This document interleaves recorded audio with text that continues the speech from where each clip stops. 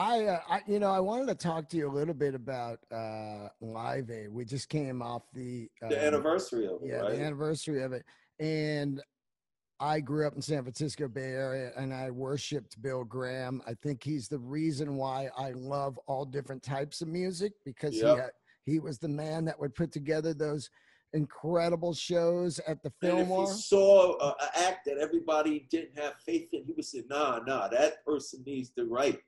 He Yeah. was a visionary. He was passionate. Yep.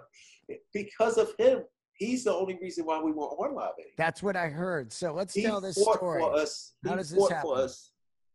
He fought for us to be on Live Aid. So they're doing this big Live Aid thing. They're having a Live Aid meeting.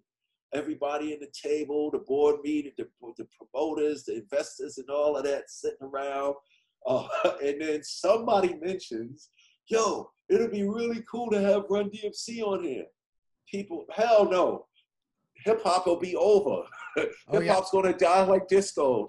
They- said, why, why y'all want Run DMC here? They're not even gonna be around next year. Bill Graham said, if you don't put Run DMC on the bill, I'm not partic- participating. Wow. That's what I heard from somebody in the room. Wow.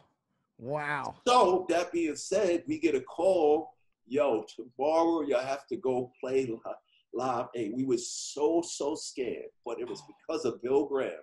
He said somebody said no. They said don't have the hip hop guys on there. This is for the rock stars, and, and you know what I'm saying. Yeah. Bill Graham said, if you don't put Run DMC on it, I'm not participating. What do, like, what do you remember from that day, man? What was that like? That had to be insane to be part of something so massive, even to this day. The scariest thing ever. We didn't want to go. yeah. what are you guys trying to do with us? Because we didn't want to ruin nothing. You know what I'm saying? We was like, what they, what they, huh, what? Do you know who's doing this? Do you know who's on the bill in London? Like you're putting us in that thing. So for us, it was the scariest thing. We didn't even speak about it. I remember, um, I forgot what city we was in the night before. We had to get up early that morning, fly there, do our show, and then fly back to the town and continue the um the tour Yeah. he was on tour. So um, the morning was in the dressing room, waiting to go on. Wow. So when it was time for us to take the stage, we just knew this: go out there and do what you do. right. Right. Don't try nothing extra.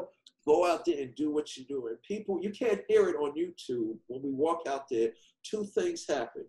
If you look at the intro when Jay's calling us out with the turntables, the record keeps jumping.